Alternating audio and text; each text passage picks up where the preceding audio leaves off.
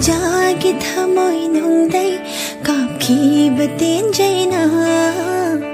반카레 농심하기 타모